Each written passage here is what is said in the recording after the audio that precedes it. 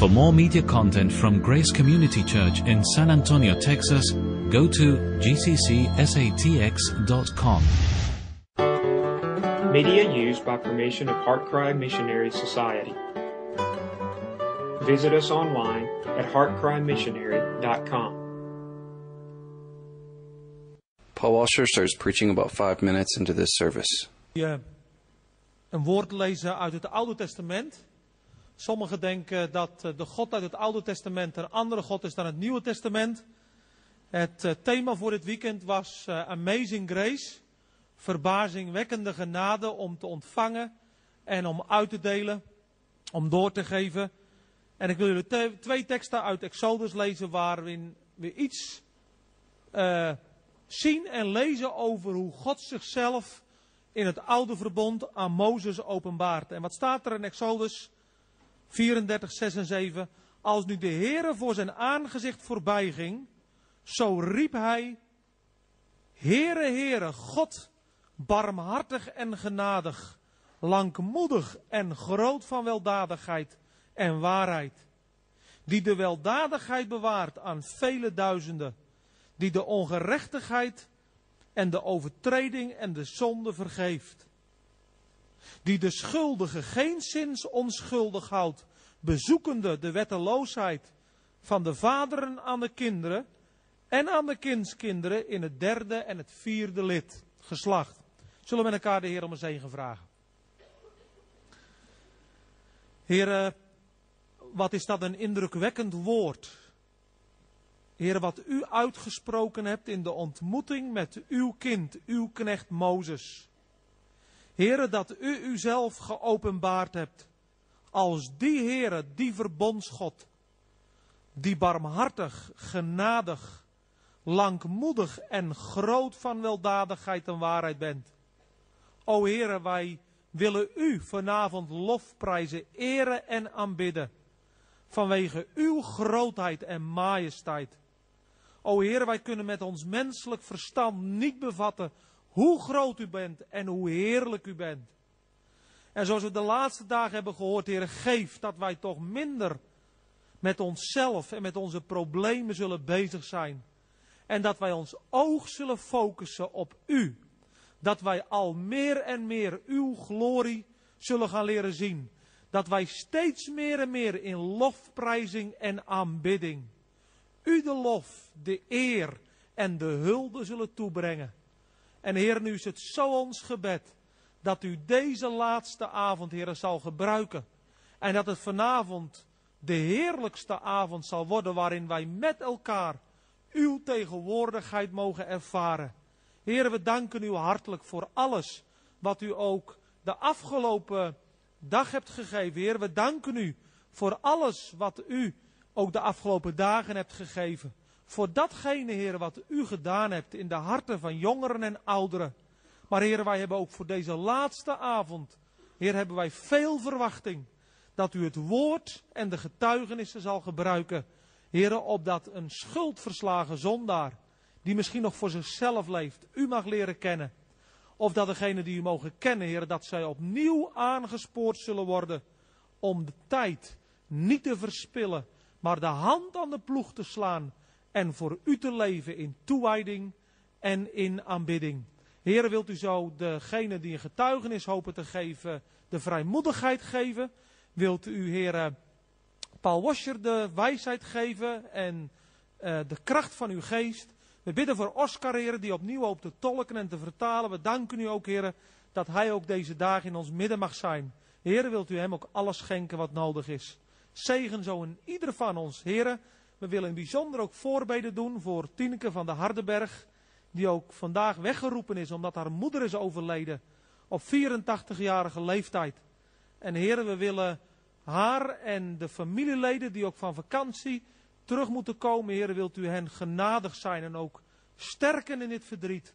En wat doet dan dat ons ook op dit ogenblik, ook in dit weekend, opnieuw bepalen bij de vergankelijkheid van het leven. En Heere, wilt u ons allen leren dat ons handbreed, onze tijd, ons leven een handbreed gesteld is. Heere, dat het zo over kan zijn. En Heer, wat zou het dan aangrijpend zijn als wij onze kostbare tijd verspild zullen hebben aan deze wereld en levend voor onszelf. En daarom smeken en bidden wij u, heren, kom met uw geest. En raak onze harten aan, heren, opdat wij vol van u ook weer naar huis zullen gaan. Om ook elders weer tot zegen te mogen zijn. Vader, hoor ons zo in de wonderbare naam van de Heer Jezus. Uit genade. Amen.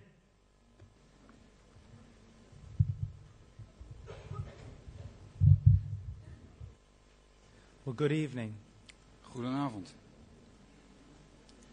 Before I get started, I'll just share with you um, Brother Leiter and I were having a conversation. Uh, voordat ik van start ga wil ik graag met jullie delen. Brother Leider en ik waren in gesprek met elkaar. And um, I was sharing with him about my, my weakness. En ik deelde met hem uh, over mijn zwakheid. And I was, we were talking, and um, I told him, I said, you know, when I tell people how weak I am, En ik zei tegen hem, weet je, als ik tegen mensen zeg uh, en met hen deel hoe zwak ik ben, they think I'm being humble. dan denken ze dat ik nederig ben. And they don't realize I'm really telling the truth. Maar ze realiseren zich niet dat ik gewoon de waarheid vertel. I would want the young people here to know something very important. Ik, wil, ik zou willen dat de jonge mensen hier vanavond iets heel belangrijks ook begrijpen. Sometimes you look at men who preach and teach, Soms kijk je naar, naar mensen, mannen die prediken en onderwijzen. and you think that God is using them because they have reached some great spiritual level. En je denkt dat de Heere God hen gebruikt omdat zij een, eh, een bepaald hoog geestelijk niveau hebben bereikt. But that's not really true. Maar dat is niet waar. You see, I hope that I am not a hypocrite. Ik hoop dat ik niet een huigelaar ben. I hope that I'm sincere. Ik hoop dat ik oprecht ben. I think that I really want to follow Jesus Christ with my heart. Ik denk dat ik de Heer Jezus echt met mijn hele hart wil volgen. But men are weak. Maar mensen zijn zwak. They're not courageous. Ze zijn niet zo moedig They don't know a lot. en ze weten niet zoveel. God uses weak people. En God gebruikt zwakke mensen. I mean, if you look in the Bible, you will see that. Als je de Bijbel leest, dan vind je dat daar ook. Look at the men and the women that he used. Kijk eens naar de mannen en de vrouwen die hij heeft gebruikt. There's no such thing as a great man of God. Er bestaat niet zoiets als een grote man Gods. There are only weak little men of a great and merciful God. Er zijn alleen maar zwakke en kleine mensen die horen bij een grote en sterke God. Sometimes I say when I'm in a pastor's conference, Soms als ik op een eh, conferentie ben waar eh, predikanten samen zijn, dan zeg ik wel eens... there's no such thing as a great man of God. Er bestaat niet zoiets als een grote man Gods. And you see some of the pastors get mad. En je ziet dat sommige van de dominees boos worden. But the humble hear it and they are glad. Maar de nederigen horen dat ook en die verheugen zich.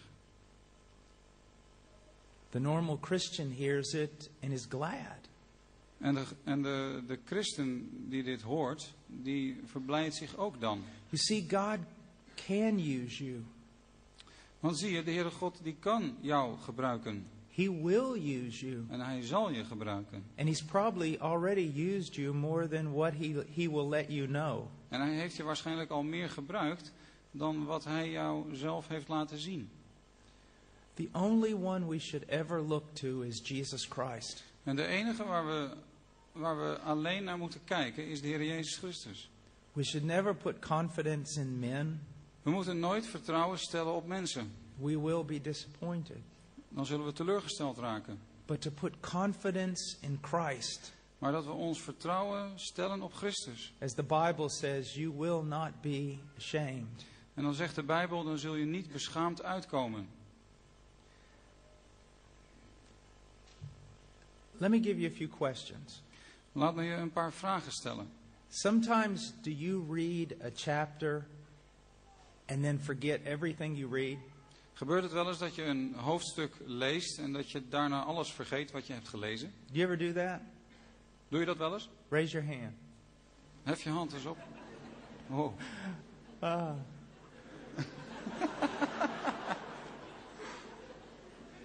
So do I. Dat overkomt mij ook. Don't you hate that? Heb je er niet een hekel aan? Uh, do you ever memorize a scripture, like work really hard to memorize a scripture? Werk je er wel eens hard aan om een Bijbelvers uit je hoofd te leren? And then uh, two days later, you try to quote it and you say something completely En dan different? twee dagen later, dan probeer je dat nogmaals eh, te citeren en dan ben je het helemaal weer vergeten. Or you quote it and then someone asks you where it's at and you can't tell them? Of, dan- of je noemt het Bijbelvers en dan vraagt iemand waar staat het ook weer en dan weet je dat niet meer. I do that. Dat, Except it's worse. I do it in front of 5,000 people. dat doe ik ook en dat is nog veel erger, want ik doe het ook eh, voor eh 5000 mensen wel eens. do you ever go to your bedroom and shut off the lights to pray? Ga je wel eens naar je slaapkamer en je doet de lichten uit en je wil bidden. And then three hours later, En dan drie uur later, your wife comes in dan komt je vrouw naar binnen and turns on the lights en doet het licht aan and you're asleep en je slaapt. and you have drooled all over the bed. En je hebt het hele bed ondergekwijld. Is that it? And then when she wakes you up, uh, I don't know if I translated that well. slobber coming out. Ja, ja. Oké. oké. En dan maakt ze je wakker. And then when she wakes you up, En als ze je dan wakker maakt, you act like you weren't asleep. dan doe je, dan doe je net alsof je niet sliep. And then you try to get up and both of your legs are paralyzed. En dan eh, probeer je op te staan en heb je twee slapende benen. do any of you do anything like that? Doen sommigen van jullie wel eens zoiets? I never do that. Dat doe ik nooit.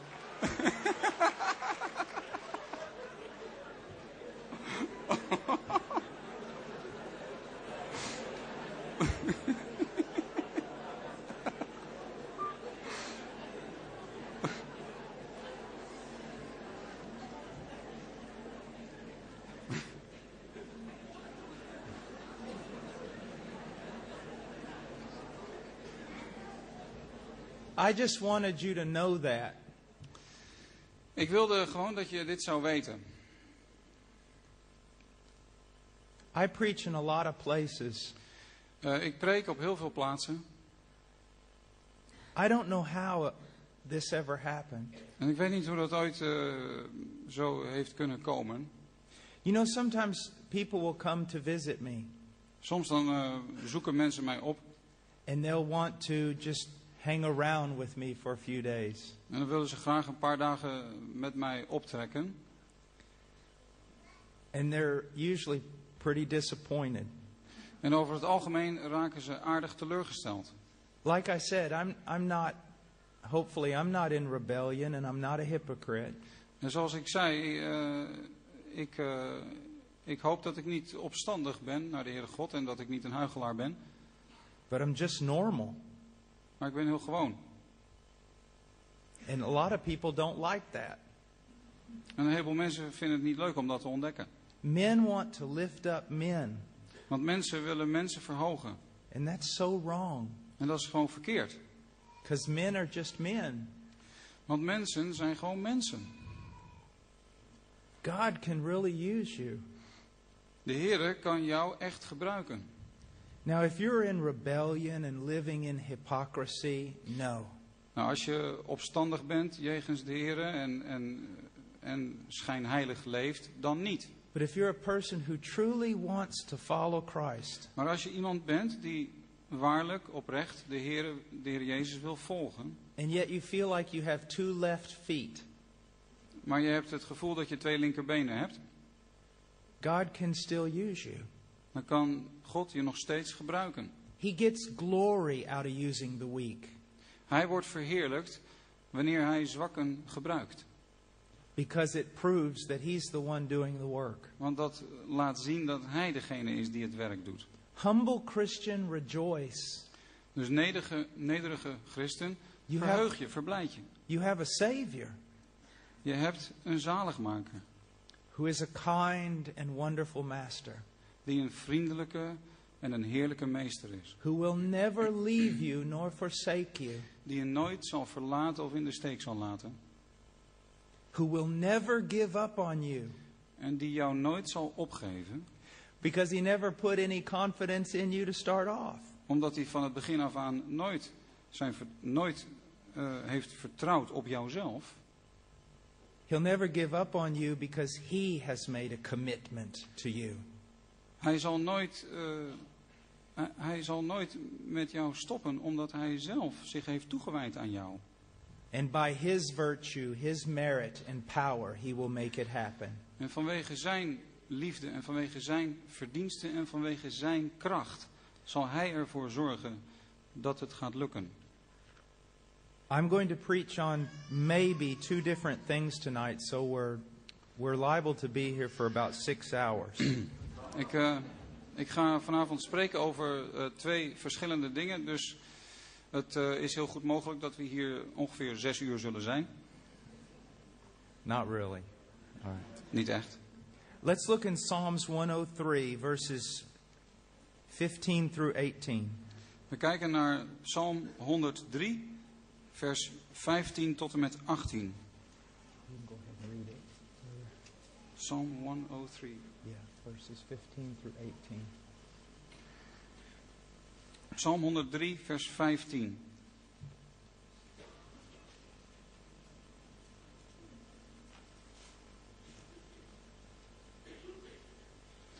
De dagen des mensen zijn als het gras, gelijk een bloem des velds, alzo bloeit hij. Als de wind daarover gegaan is, zo is zij niet meer, en haar plaats kent haar niet meer. Maar de goede tierenheid des Heren is van eeuwigheid en tot eeuwigheid over degenen die hem vrezen, en zijn gerechtigheid aan kindskinderen, aan degenen die zijn verbond houden en die aan zijn bevelen denken om die te doen. In verse 15, it says, As for man, his days are like grass, as a flower of the field, so he flourishes. Vers 15 zegt, de dagen des mensen zijn als het gras, gelijk een bloem des velds, zo bloeit hij. If he had said that man is like a mountain, we would still have reason to be afraid. Als hier zou hebben gestaan dat de mens is als een berg, als een rots, dan hadden we nog steeds reden om te vrezen. Because mountains do not last forever. Omdat zelfs bergen niet voor altijd blijven. Time will ground them down to nothing. En de tijd die, eh, die maakt hen tot niets. Even the mountains cannot withstand some of the forces of nature. Zelfs bergen kunnen niet sommige natuurkrachten weer eh, overleven. So if God had said that man is like a mountain, we would still have reason to know that one day our life would end. Dus als hier had gestaan dat een mens is als een berg, dan hadden we nog steeds reden om te geloven en aan te nemen dat, dat ons leven eindig is. If he had said here that man is like a mighty oak tree, Als hier zou hebben gestaan dat de mens is als een machtige eikenboom, we would still have reason to be afraid. dan hadden we nog steeds reden om bang te zijn. Oak trees eventually die. Want eiken, die sterven uiteindelijk ook. They can be destroyed by disease. Ze kunnen eh, ten onder gaan aan ziekte. They can be cut down by the axe of a man. En ze kunnen omgehakt worden door de bijl van de mens. So if he had said that man is like a mighty oak tree, we would still have reason to be afraid. Dus als hier had gestaan dat de mens is als een sterke eikenboom, dan hadden we nog steeds reden gehad om te vrezen. But he says man is like grass. Maar er staat hier dat de mens is als het gras. Grass has short duration. Het gras leeft maar voor even. Even if it is healthy, it will not last more than a year. Zelfs als gras gezond is, dan zal het niet langer leven dan één jaar. The winter comes and it withers and it dies. In de winter dan, eh, dan verwelkt het en dan sterft het. Forces can act upon grass and kill it, and grass does not have control over those forces. En er zijn krachten die over dat gras heen komen en die dat gras doden. En het gras zelf heeft daar geen macht over. The mightiest men on the face of this earth are grass. De machtigste mannen op de aardbodem zijn als gras. They may flourish for a while, En ze bloeien voor even, but in time they will go. maar op den duur dan vergaan zij. Dan, dan, It says in verse 16, as the wind passes over it, it is no more, and the place acknowledges it no more. zoals vers 16 zegt, als de wind daarover gegaan is, zo is zij niet meer en haar plaats kent haar niet meer. They flourish, Ze bloeien and then they are gone. en daarna zijn ze gewoon weer weg. A man is born, Mens wordt geboren, a man is educated, mens wordt onderwezen a man works and accomplishes great things, en een mens werkt en die bereikt grote dingen. a man dies, and he is forgotten. En dan sterft de mens en daarna wordt hij vergeten. Nebuchadnezzar, Nebukadnezar. will you be as great as him? Zul jij zo groot zijn als hij? But I imagine that there are months and years that pass by and you do not even think of him. Maar ik kan me zo voorstellen dat er weken, eh, maanden voorbij gaan dat je geen moment aan hem denkt. Will anyone know you even existed a hundred years from today? Zal er over 100 jaar überhaupt iemand zijn die nog weet dat jij hebt bestaan? You know the name of your father. Jij kent de naam van je vader. Do you know the name of your grandfather? Ken je de naam van je grootvader? Do you know the name of your great grandfather? Ken je de naam van je overgrootvader? Do you know the name of your great great grandfather? Ken je de naam van je over, overgrootvader? In four generations, no one will remember you either. Nee, over vier generaties zal er ook niemand zijn die jou herinnert. There are great empires that have arisen on this planet. Er zijn grote koninkrijken die zijn opgekomen op aarde. There's Rome, Sorry? de- the empire of Rome. Oh, het Romeinse Rijk, There's Babylon, het Babylonische Rijk. but they've all passed. Maar al die koninkrijken zijn weer voorbij. One day Holland will be nothing more than ruins. Er zal een dag komen dat, dat Holland, dat Nederland, niets anders zal zijn dan een ruïne. One day the United States will be nothing more than a name written in a history book. En er zal een dag zijn dat de Verenigde Staten niets anders meer zal zijn dan een naam die opgetekend staat in een geschiedenisboek. So if the very nations we live in will one day disappear, how much more will we disappear? Dus als zelfs de natieën waar we deel van uitmaken op een dag voorbij zullen zijn, hoeveel te meer zullen ook wij op een dag voorbij zijn? Your life is a vapor. Je leven is als een mist. It is like the dew that comes down on the grass in the morning, but the sun comes out and it disappears. is als de dauw die 's morgens op het gras te vinden is, maar daarna komt de zon op en de dauw is weg. Today, yesterday you were born. Gisteren werd je geboren. Today you are alive. Vandaag leef je Tomorrow you will die. en morgen zal je sterven. Go and talk to the aged. Eh, praat eens met, eh, met mensen op leeftijd. Go and talk to them about how fast their life passed before them. Praat eens met hen over hoe snel hun leven eh zover is gekomen. They will tell you that they were born yesterday, En ze zullen je zeggen, ik werd gisteren geboren. that life passed so quickly, Het leven is zo snel gegaan. that they missed so much, Er is zoveel wat ze zijn misgelopen. that they wish they could go back and do it all over again. En dat ze, u zult horen dat ze de wens hebben, dat ze, de, dat ze zouden willen dat ze terug konden gaan en dingen anders konden doen. But they will not receive the opportunity. Maar die gelegenheid, die krijgen ze niet meer. They will never go back. Want ze kunnen niet meer teruggaan. Their life is over. Want hun leven is grotendeels voorbij. We look out on this congregation tonight. We kijken over deze, deze gemeente vanavond. Many strong young men. Er zijn hier vele sterke jonge mannen. Your bodies are your friend. Je lichaam is je vriend. They do not hurt. Je lichaam doet geen pijn. They're strong and full of energy. Je, je lichaam is sterk en vol van energie. it won't be long before they're not your friend, but your enemy. Maar het zal niet zo lang duren voordat je lichaam niet meer je vriend is, maar je vijand. They will bring you pain. Je lichaam zal je pijn brengen They will bring you weakness. en zwakte. They will limit you. Je lichaam zal je beperken. One day, someone will have to help you go to the bathroom. Er komt een dag dat iemand je zal moeten helpen om naar het toilet te gaan. That's what is awaiting you. Dat is wat je te wachten staat. You see, we live in a cult of youth. Wij leven in een, eh, in een cultuur waarin de jeugd bijna wordt aanbeden. Youth is the idol.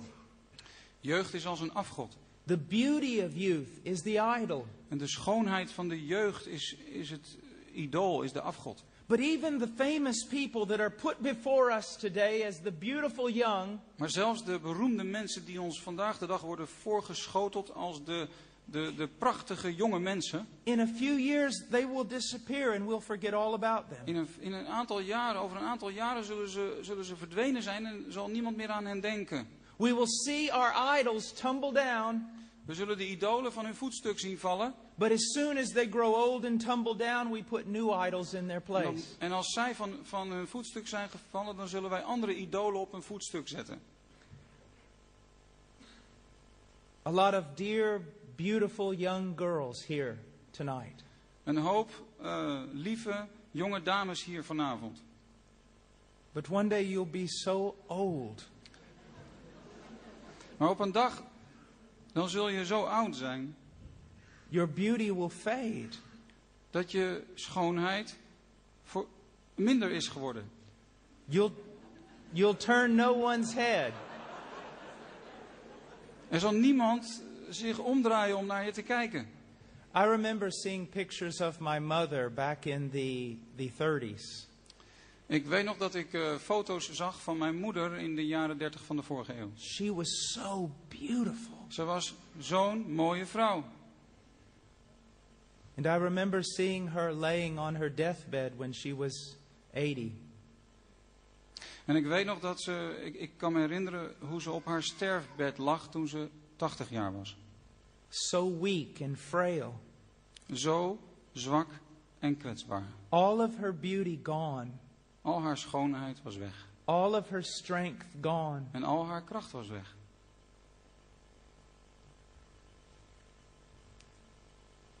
Do you know what the last thing my mother said to anybody on this planet? Weet je wat het laatste was wat mijn, wat mijn moeder zei tegen iedereen die ze toen nog ontmoette? I stayed with her the month that she was in bed before she died. Ik verbleef bij haar de laatste maand van haar leven toen ze in bed lag. The last two weeks she was unconscious and couldn't say De anything. laatste twee weken was ze buiten bewustzijn en kon ze niets meer zeggen. But the last thing I heard her say was when her brother called on the phone. Maar het laatste wat ik haar heb horen zeggen is toen haar eigen broer haar belde. And I said, Mom, your brother Willie is on the phone. Can you talk to him? Ik zei tegen haar moeder, je broer Willy is aan de telefoon, kan je met hem praten? She took the phone, En ze nam de telefoon and I held it with her because she was so weak she couldn't even hold the phone to her en, face. en ik hielp haar om de hoorn vast te houden. She hadn't spoken about two days, Ze had ongeveer twee dagen lang niet, eh, geen woord uitgebracht. and this is what she said En dit is wat ze zei. Read Bible. Believe Jesus. Read Bible. Believe Jesus. And that's the last thing she ever said on this planet. Lees je Bijbel. Geloof in Jezus. Lees je Bijbel. Geloof in Jezus. Dat is het laatste wat ze zei hier op aarde. What a testimony. Wat een getuigenis. Everything she ever was, everything she ever possessed was taken from her. Alles wat ze ooit was geweest en alles wat ze ooit had gehad, werd haar afgenomen. But the confession of faith in Jesus Christ that will carry her on to glory. Maar haar beleidenis van haar geloof in Jezus Christus, dat droeg haar de heerlijkheid in. Man's days are like grass. De dagen van de mens zijn als het gras. As the flower of the field, he flourishes. Als, de, als een bloem op het veld, zo bloeit hij. And all his strength, all his beauty, all his accomplishments, En al zijn eh, sterkte en al zijn schoonheid en al zijn, alles wat hij bereikt. But then God says, Today your soul is required of you. Maar dan zegt de Heere God, vandaag wordt de- jouw ziel van je opgeëist. How then shall we live? Hoe moeten wij dan leven? To the unbeliever, I can't even ask this question Nou, aan de ongelovige kan ik deze vraag niet eens stellen. because he doesn't care, Want die maakt zich daar geen zorgen om. because he doesn't see. Hij ziet dingen niet. He's being entertained by the devil all the way to hell. Hij wordt de hele tijd eh, vermaakt door de duivel, de hele weg wo- naar de hel toe. The world is in his life, De wereld is in zijn leven and it leads him, en die wereld die leidt hem and it entertains him, en vermaakt hem and it feeds him, en voedt hem, so that he never asks the important question, Why am I alive? zodat hij zichzelf nooit de belangrijke vraag stelt, waarvoor leef ik eigenlijk? But the believer can ask the question, How shall we then live? Maar de gelovige die stelt wel de vraag, hoe behoren wij dan te leven? Because your mind has been illumined by the Spirit of God. Omdat je denken verlicht is door de Heilige Geest van God. Christ has given you understanding. Christus heeft jou inzicht gegeven. You know that life is short. En je weet dat het leven kort is. It's like a vapor. Het is als een mist. You know your strength is going to leave you. Je weet dat je kracht je uiteindelijk zal verlaten. You know that your beauty is going to betray you. Je weet dat je schoonheid je zal verraden. You know that all your material possessions are going to rot. Je weet dat al je materiële bezittingen zullen wegrotten. You know that all the worldly achievements you have comp- accomplished are going to fail. Je weet dat alle dingen in- die je in deze wereld hebt bereikt weer zullen voorbij gaan. Dat het faalt. And regardless of all your work, you will not be remembered. En ook al heb je nog zoveel gedaan, je zult niet worden herinnerd. How then shall we live? Hoe behoren wij dan te leven? It says in verse 17 Er staat in vers 17. But the loving kindness of the Lord is everlasting to everlasting on those who fear him. Maar de goede tierenheid des Heren is van eeuwigheid en tot eeuwigheid over degenen die hem vrezen. And his righteousness to children's children. En zijn gerechtigheid aan kinds kinderen. We must recognize what is truly eternal.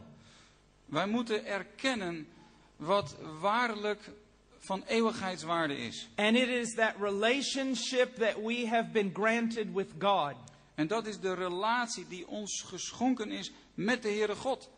This is eternal life, that you may know the one true God.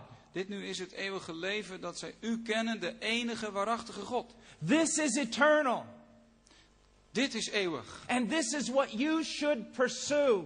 En dit is waar jij naar behoort te jagen. Knowing that the world is coming to an end. Wetende dat deze wereld voorbij zal gaan. Knowing that your life is coming to an end. Wetende dat jouw leven voorbij zal gaan. You should pursue God. Behoor je te jagen naar God. Pursue a relationship with Him. Jagen naar een relatie met Hem. And to pursue to know His will and accomplish it on this earth. En jagen naar de kennis van Zijn wil en Zijn wil te doen hier op aarde. One of the most amazing statements that can ever be made about a man was made about King David. Een van de meest verbazingwekkende eh, uitspraken die over een mens kan worden gedaan, werd gedaan over koning David. He served the purposes of God in his generation. Hij heeft de raad Gods gediend in zijn tijd. And then he slept. En toen is hij ingeslapen. What an amazing thing to be said about a man. Wat bijzonder als dit over een mens wordt gezegd. That is what I would like to have said at my funeral.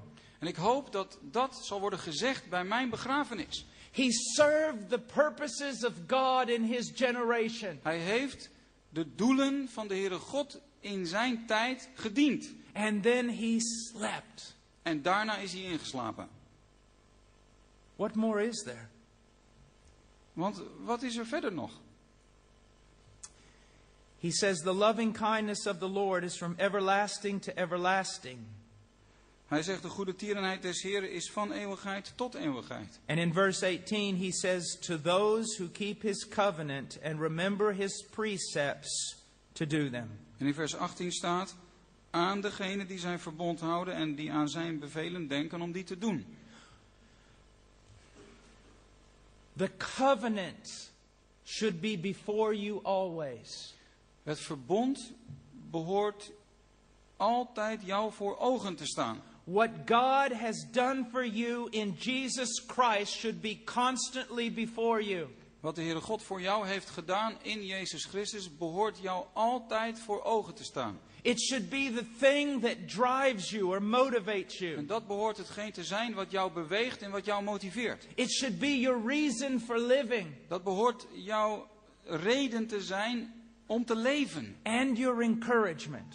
en jouw bemoediging. I always tell believers this Ik zeg tegen gelovigen altijd dit. we live between two days. Wij leven tussen twee dagen. The day when Jesus Christ hung before all men, De, day, de dag waarop Jezus Christus hing voor de gehele mensheid. and the day when all men will stand before Christ. En de dag waarop de gehele mensheid zal staan voor Christus. These are the two things that ought to drive you. En deze twee zaken behoren ons te motiveren en te bewegen. That you have entered into an everlasting covenant with God through the blood of Jesus Christ. Dat je bent binnengetreden in een eeuwigdurend verbond met de Heere God door het bloed van Christus. That you are His sons and daughters. Dat, dat jullie zijn zonen en dochters zijn. That you do not belong to this world. Dat jullie niet aan deze wereld behoren. That you are citizens of Zion. Dat jullie burgers zijn van Sion. And that you are headed towards one purpose and one direction, and that is the will of God. En dat je op weg bent in één richting en tot één doel. En dat is Gods wil. You should give yourself to knowing your God. Je moet jezelf geven aan het kennen van God. You should give yourself to understanding His will. En je moet jezelf eh, toewijden aan het kennen van zijn wil. And you should give yourself to the doing of His En will. je moet jezelf geven aan het doen van zijn wil. Not as a burden, Niet als een last. not as something to, through which you can earn a right standing with Him. En niet eh, als iets waardoor je een eh, rechte positie voor hem kan verdienen. The believer does not serve God so that God will love him. Je dient God niet opdat hij van je gaat houden. The believer serves God because God does love him. Maar de gelovige dient de Heere God omdat God van hem houdt. And we simply, willingly, and joyfully respond to the love that God has guaranteed us. En het is eenvoudig zo dat we gewillig en met vreugde antwoord geven op de liefde waar God ons van verzekerd heeft. Our lives are passing. Onze levens gaan voorbij. How should we live? Hoe behoren we dan te leven? Seeking our God Onze God zoekende and doing His will. en zijn wil doende. Let's go to the book of Ecclesiastes. Laten we naar het boek Prediker gaan. Chapter 12. Oh, I'm sorry, chapter 1. Prediker 1, Verses 2 through 4. vers 2 tot en met 4. Okay. Prediker 1, vers 2. Ijdelheid der ijdelheden, zegt de prediker. Ijdelheid der ijdelheden, het is al ijdelheid.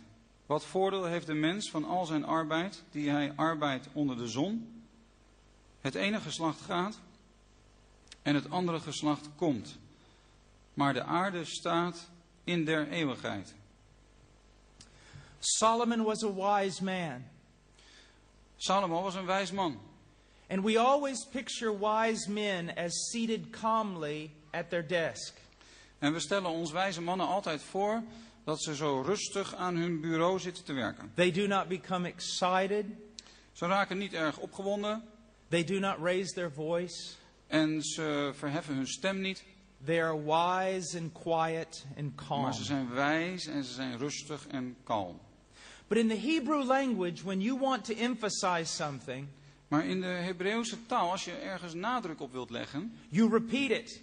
dan herhaal je het. A perfect example is Isaiah chapter 6, Een heel mooi voorbeeld is Jezaja 6, where the scripture says that God is holy, holy, holy. waar de schriften zeggen dat God heilig, heilig, heilig is. It means above all things, God is holy. Dat betekent dat boven alles God heilig is. The repetition of a thing screams out, Listen to me, I'm going to tell you something very true. Als iets herhaald wordt, dan zegt dat tegen ons: luister hiernaar, ik ga nu iets zeggen wat zeer waar is. Like in the Aramaic of Jesus when he was on this earth. Net als in het Aramees dat Jezus gebruikte toen hij op aarde was, He would sometimes say, Truly, truly, I say unto you. zei hij soms waarlijk, voorwaar, voorwaar, ik zeg u. It means listen to me. Dat betekent luister naar mij. Now, notice here in verse 2 it says, Vanity of vanities, says the preacher. Nou, er staat hier ijdelheid der ijdelheden, zegt de prediker. Now, preachers, we expect them to be standing. Nou, eh, van predikers verwachten we dat ze rechtop staan And they raise their voice in the middle of the city. en dat ze hun, hun stem verheffen in, de, in het midden van de stad. And they cry out in the streets. En dat ze in de straten hun stem verheffen. Here in this text, we see the wise man becoming a preacher In deze tekst zien we dat die wijze man dus een prediker wordt. Because of the emphasis that he wants to give. Vanwege de nadruk die hij wil leggen. Imagine that the wise Solomon is seated at his desk. Stel je voor dat de wijze Salomo achter zijn bureau zit. You walk in his office En je wandelt zijn studeerkamer binnen. and you sit down in front of him.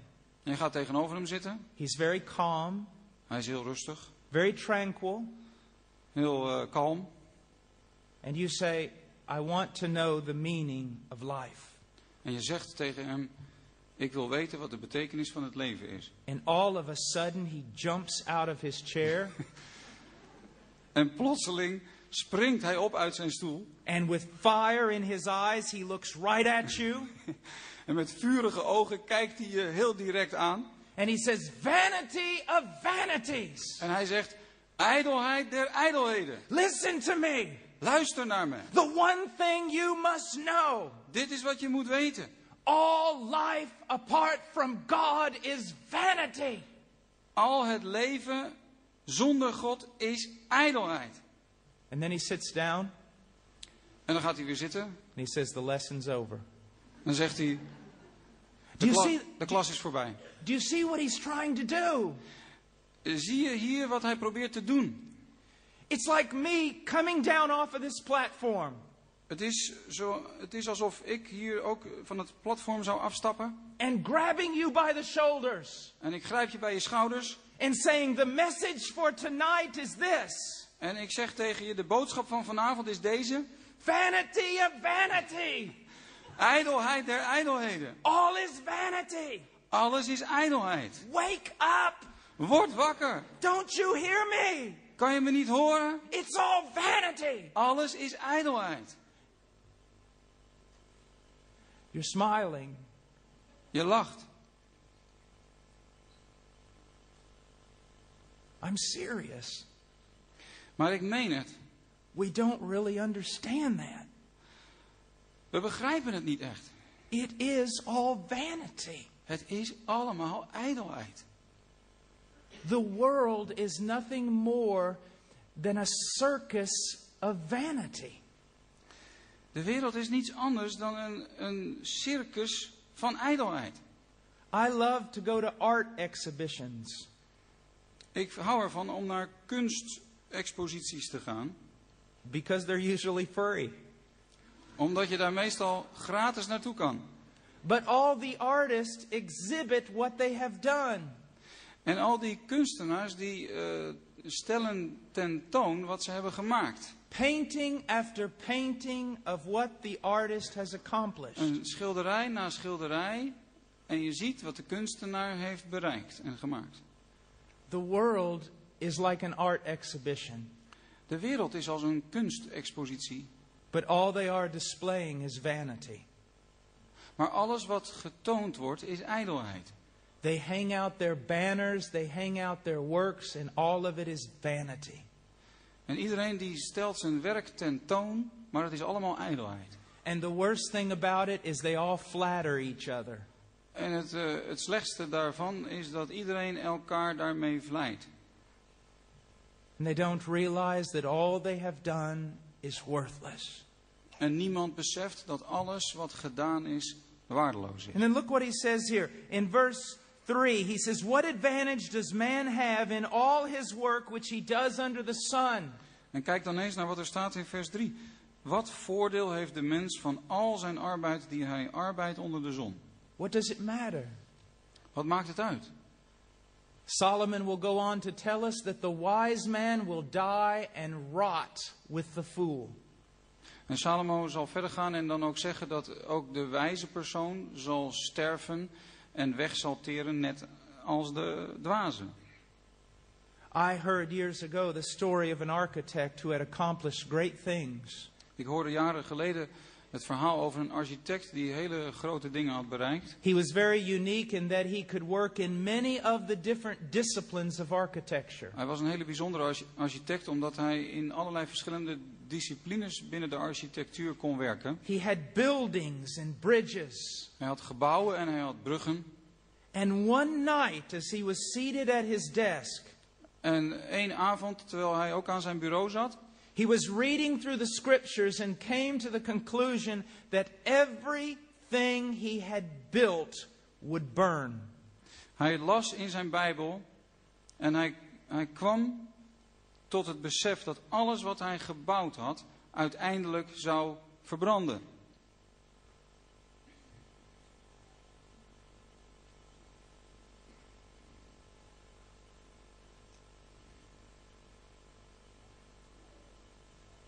How much of what you have done will burn?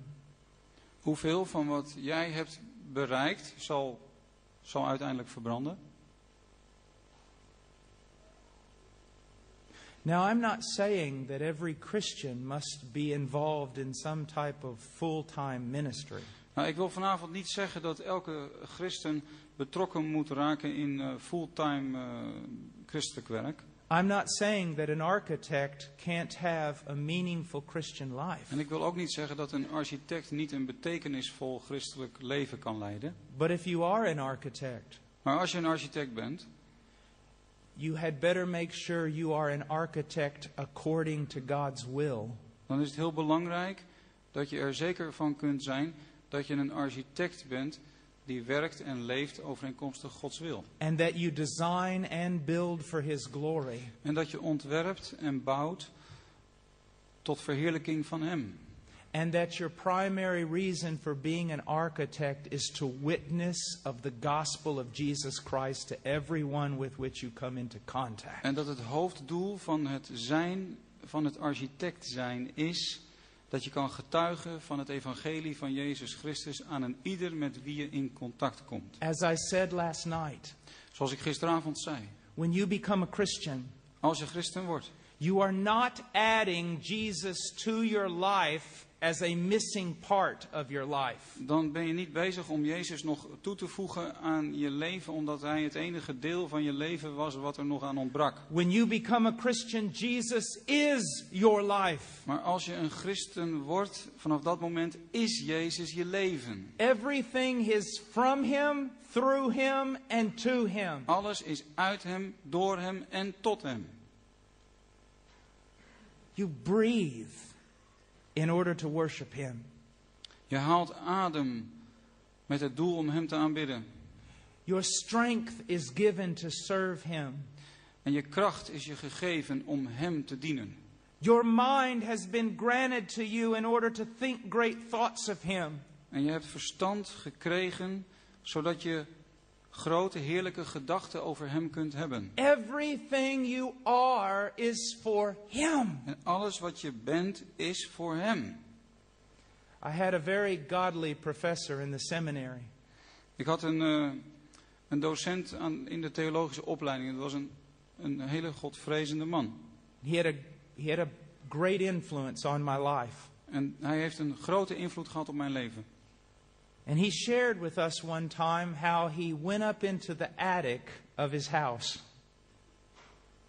En hij deelde een keer met ons hoe hij naar de... Die attic is? It's the very top where you store everything. Oké, ja, hij ging naar de, de, de vliering van zijn huis. And he said there was an old trunk there. En er stond daar een oude kits, ki- kist. And he opened it up Hij deed die kist open and he got down on his knees. en hij knielde daarbij neer. And this may seem superficial to you, but it definitely was not to him. En misschien komt het een beetje oppervlakkig op jou over, maar voor hem was dat het absoluut niet. And he said, Lord, here tonight I die. En hij zei toen, Heere, hier vanavond, hier sterf ik. I give you my mind. Ik geef u mijn denken. I give you my eyes. Ik geef u mijn ogen. I give you my ears. Ik geef u mijn oren. I give you my tongue. Ik geef u mijn tong. I give you my hands. En ik geef u mijn handen. I give you my, my feet. Ik geef u mijn voeten. I give you my heart. Ik geef u mijn hart. I give everything to you tonight. Ik geef alles aan u vanavond. And I die En vanavond sterf ik. that I might rise up again and belong completely and wholly to you. Opdat wanneer ik daarna weer opsta, ik helemaal en volledig van u ben. I no longer want my plans. Ik wil niet langer mijn plannen, I want your will. maar ik wil uw wil.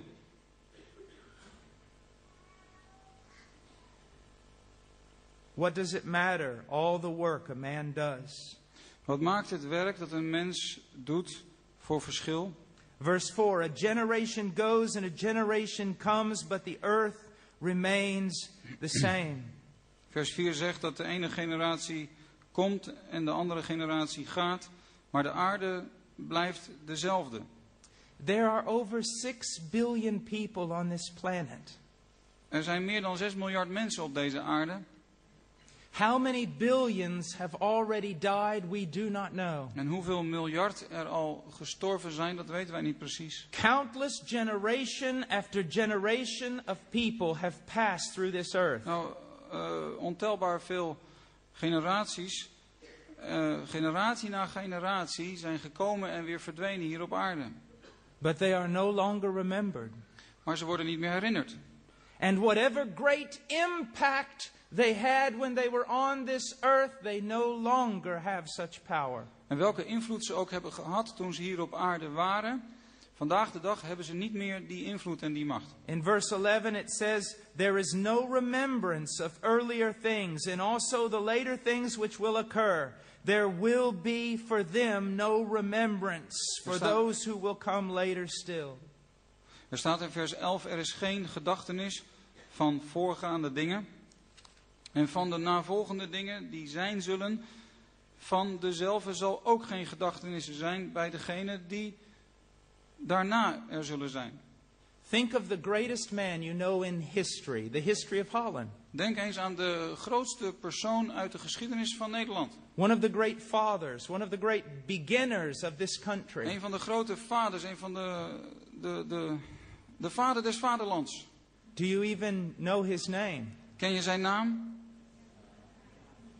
Do you celebrate the day of his birth? Vieren wij zijn geboortedag? Only because maybe it's a state holiday. Misschien omdat het een eh, nationale eh, feestdag is? No, do, you, do you weep every year on the day of his death and visit the cemetery where he was buried to give flowers? Eh, huil je elke, elk jaar op de dag waarop hij is gestorven en bezoek je zijn graf om daar bloemen neer te leggen? He is remembered no more. Hij wordt niet meer herinnerd. I remember when my father died years ago. Ik weet nog, toen mijn vader stierf, jaren geleden. He was a strong man. Hij was een sterke man, extremely intelligent man, buitengewoon intelligent a powerful man. en krachtig. And yet I remember there is a, as a young boy at the funeral, Ik weet nog dat ik een jonge man was bij zijn begrafenis. that even his friends were talking about the weather Dat zelfs zijn vrienden het op dat moment hadden over het weer. or what was going to happen to some business Of wat er eh, in de zakenwereld zou gaan gebeuren. or whether or not they were going to go on holiday this year. En over of ze wel of niet dat jaar op vakantie zouden gaan. And I became so angry. En dat maakte me zo boos. My father just died. Mijn vader is zojuist gestorven. There are people gathered here to honor him. En mensen zijn hier samengekomen om hem eer te bewijzen. And they're talking about the weather. En ze hebben het over het weer. The Bible's true. De Bijbel is waar. A generation comes and a generation Een goes, generatie komt en een generatie gaat. and no one remembers. En niemand herinnert hen. How then shall we live? En hoe behoren wij dan te leven? Let's go to the last chapter of Ecclesiastes, chapter 12. We kijken naar het laatste hoofdstuk uit het boek Prediker, hoofdstuk 12. Verse 13 and 14. Prediker 12, vers 13 en 14. Okay. Van alles wat gehoord is, is het einde van de zaak. Vrees God en onderhoud zijn geboden, want dit betaamt alle mensen. Want God zal ieder werk in het gericht brengen met al wat verborgen is, het zij goed of het zij kwaad. How then shall we live? Hoe zullen wij dan leven? We shall live in the fear of God. Wij zullen leven in de vreze Gods. Now, for the unbeliever, that means something quite different. Maar voor de ongelovigen betekent dat heel wat anders. To live in terror of God. Dat betekent voor hen om te leven in angst voor God. Not because God is bad, Niet omdat God slecht is, but because God is good. maar omdat, omdat God goed is. And the unbeliever is not. En de ongelovige niet. And he will be judged, as it says in verse 14, En hij zal geoordeeld worden, zoals het zegt in According- het laatste vers. according to everything he has done, everything he has thought, everything he has said. Overeenkomstig alles wat hij heeft gedacht, gedaan, ge- gedacht en gezegd. But for the believer, for the Christian, Maar voor de gelovige, voor de christen, how shall we live knowing that everything will pass away? hoe zullen wij dan leven terwijl we weten dat alles van voorbijgaande aard is? Live in joyful reverence to God. Leef in blijde eerbied en ontzag voor God. with great gratitude, Met heel veel dankbaarheid. with thanksgiving, Met een dankbaar hart. with worship and praise, In, in aanbidding en met lofprijs. seeking Him to know more of Him, Hem zoekende om meer van Hem te weten. and giving ourselves to the doing of His will, En onszelf overgevende aan het doen van Zijn wil. separating ourselves from the things on this earth that contaminate, Onszelf afscheidende van de dingen van deze wereld die ons verontreinigen. having no part with the deeds of darkness, En geen deel hebbende aan de, aan de daden der duisternis. and giving ourselves in devotion to God, En onszelf geven in toewijding aan God. serving Him, Hem dienende. and serving others in His name, En anderen dienende in Zijn naam. with a great hope Met heel veel hoop. that though the world pass away, Dat ook al gaat de wereld voorbij. That though they lay your body in the grave, Dat ook al zullen ze je lichaam in het graf leggen. one day a trumpet will sound, Er zal een dag komen dat de trompet, de bazuin zal klinken. and the dead in Christ will rise, En de doden in Christus zullen opstaan. and we will be with him forever. En we zullen voor eeuwig met hem zijn. How then shall we live? Hoe zullen wij dan leven? Fear God Vrees God. And keep his commandments. En houd zijn geboden. Obey him. Gehoorzaam hem. You see, it was disobedience that brought the world into this horrible predicament to start off with. Weet je, het was, eh, het was gehoorzaamheid. Sorry, het was ongehoorzaamheid in het allereerste begin. Waardoor deze wereld in deze vreselijke toestand is It terechtgekomen. is because of disobedience to the commands of God that men die. Het is vanwege ongehoorzaamheid aan de geboden van de Heere God dat mensen sterven. It is because of disobedience that men ruin their own En het is lives. vanwege ongehoorzaamheid dat mensen hun eigen leven vernietigen. Listen to me. Men only have one problem. Luister naar mij, de mens heeft maar één probleem. It is sin. En dat is zonde. Avoid it. Vermijd het. Run from it. Vlucht ervan weg. Hate it. Haat het. And run to Christ En vlucht tot Christus and His commands. en zijn geboden.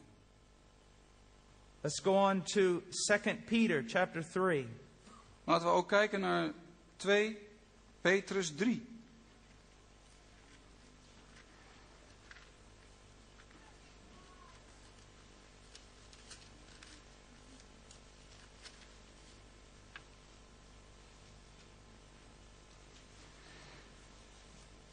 Verse 10 and 11.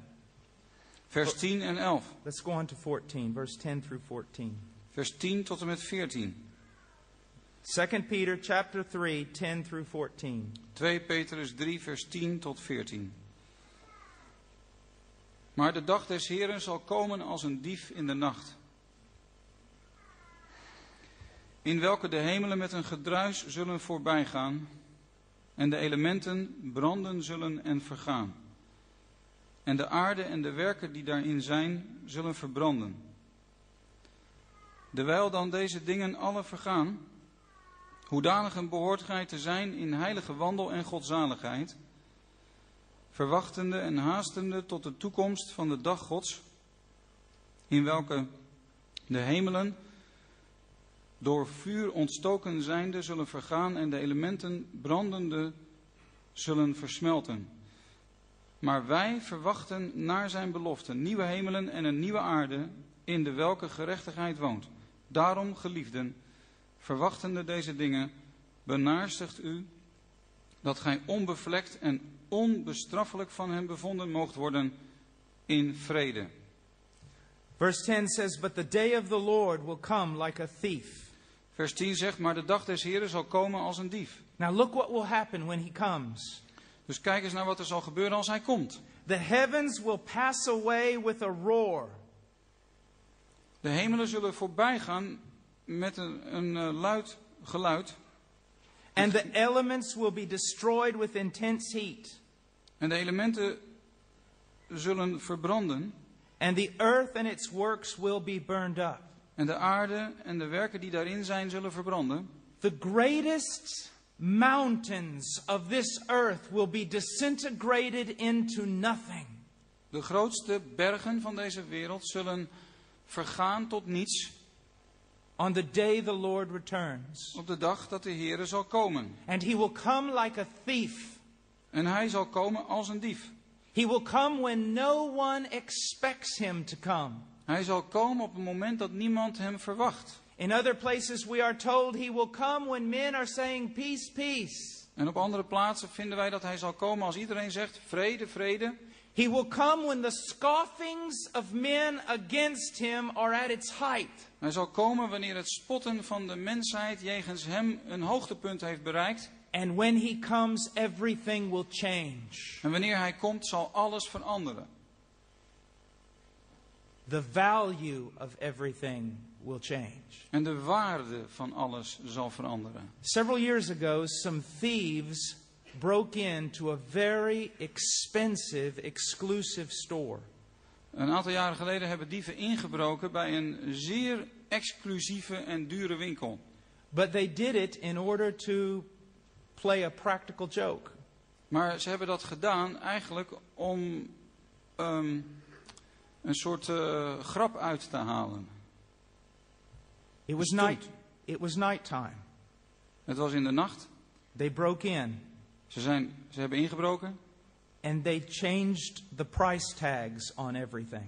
En ze hebben overal de, het prijskaartje van veranderd. On everything. Op alles. So the next morning, the store opened up. Dus de volgende ochtend ging de winkel open. No one knew what happened. Niemand wist wat er was, wat, wat er was gebeurd. And a person came to the checkout lady with a beautiful vase En er kwam iemand met een prachtige vaas bij de, bij de kassa. that the night before was worth $10,000. Dat de avond daarvoor nog 10.000 dollar kostte. But now it was $1.25. Maar nu kostte deze vaas 1, 1 eh, dollar 25. And then another person came with a little, little cheap watch that the night before was worth about $15. En daarna kwam iemand met een, eh, met een horloge dat eh, de avond daarvoor niet zo duur 15 dollar was. But now it was $1,250. Maar nu was het eh, eh, 1250 dollar. You can imagine what kind of chaos was in that store. Je kunt je voorstellen welke chaos zich daar eh, voltrok. Jesus is coming back like a thief in the night. Jezus komt terug als een dief in de nacht. And the moment he does, the value of everything will change. En wanneer hij terugkomt, zal de waarde van alles zijn veranderd. All the things that men consider to be extremely valuable, the, the next morning will be worth nothing. Alles wat de mens beschouwt als zijnde heel erg waardevol, zal de dag daarna blijken waardeloos te zijn. Your wealth will be worth nothing. Je rijkdom zal niets meer waard zijn. Your beautiful clothes will be worth En nothing. je mooie kleding zal niets waard zijn. Your expensive house will be worth En nothing. je dure huis zal dan niets waard zijn. Your worldly fame will be worth nothing. En je wereldse beroemdheid zal niets waard zijn. And all your great works will be worth nothing. En al de grote dingen die je hebt bereikt, zal blijken niets waard te zijn. At this very moment, Op dit moment, in the West, in het Westen, the gospel of Jesus Christ is worth nothing. Is het evangelie van Jezus Christus niets waard. We have a street preacher here tonight from England. We hebben een eh, straatprediker in ons midden uit Engeland. He stands up in the middle of the city and cries out, Jesus saves. En hij gaat staan midden in de stad en hij zegt tegen de mensen, Jezus behoudt. And all the people can think of is, why doesn't that man get a job that would really help society? En het enige waar de mensen aan denken is, waarom zoekt die man niet een baan die werkelijk tot nut zal zijn voor de samenleving? Why is he screaming out this worthless message? En waarom staat hij hier deze waardeloze boodschap te prediken? Godliness in, all, in our culture is worth nothing. Eh, godsvruchtig zijn, heilig leven, is in onze samenleving in de ogen van mensen niets waard. Purity is worth nothing. Reinheid is beschouwd als van geen waarde. Dedication, devotion to the things of God is worth nothing. En toewijding aan de dingen van de Heere God wordt beschouwd als waardeloos. Service in the name of Jesus Christ is worth nothing. En dienen in de naam van Jezus Christus wordt beschouwd als waardeloos. If, if one of you goes to his parents and says, God has called me to be a missionary to Indonesia, En als een van jullie naar je ouders eh, zou stappen, zal stappen en tegen je ouders zal zeggen: God heeft mij geroepen om een zendeling te worden in Indonesië. many of your parents would say, How could you throw your life away for that? Veel ouders zullen reageren met te zeggen: Hoe kun je je leven daar nou aan weggeven? But the morning after the return of Jesus Christ, Maar de dag nadat Jezus Christus is teruggekomen, the fact that you gave a cup of cold water to a disciple in the name of Christ het feit dat jij een, eh, een beker koud water aan iemand anders hebt gegeven, omdat je een discipel van Jezus Christus bent, it will be worth a thousand worlds het zal duizend werelden waard zijn. And all the riches contained therein. En alle rijkdommen die je in die werelden kunt vinden. How then shall we live? Hoe zullen wij dan leven? Verse 11, he tells us. In vers 11 zegt hij ons dat. Since all these things are, be to, are to be destroyed in this way, What sort of people ought you to be? Terwijl dan al deze dingen allen vergaan, eh, wat voor soort mensen behoor je dan te zijn? Hoedanigen behoort gij te zijn? It tells us that you should live in holy conduct and godliness. Er staat dat, dat, behoort, dat we behoren te wandelen in een heilige wandel en godzaligheid. Most people have a very wrong understanding of holiness. De meeste mensen hebben een verkeerd beeld van wat heiligheid inhoudt.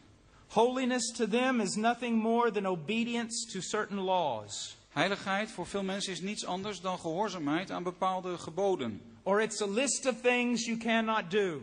Of het is een lijst met dingen die je niet mag.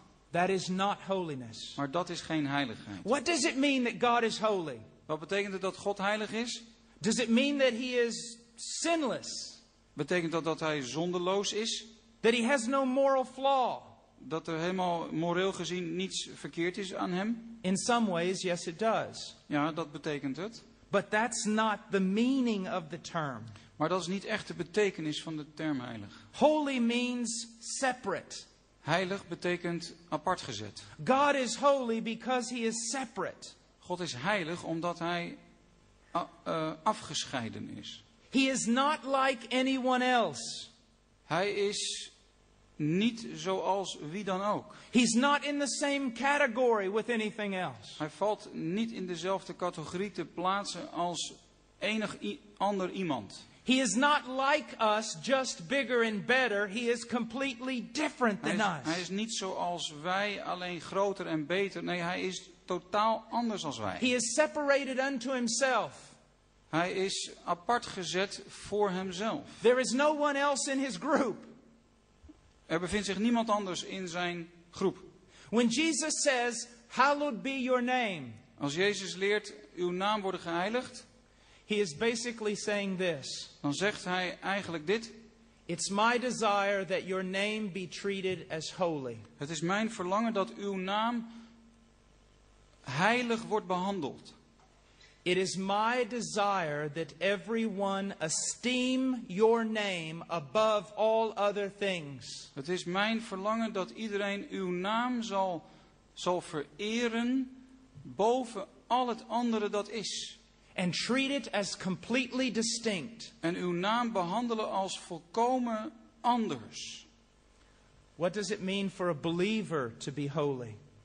Wat betekent het dan voor een gelovige om heilig te zijn? It means being separated Dat betekent afgescheiden zijn. unto God. Afgescheiden tot God.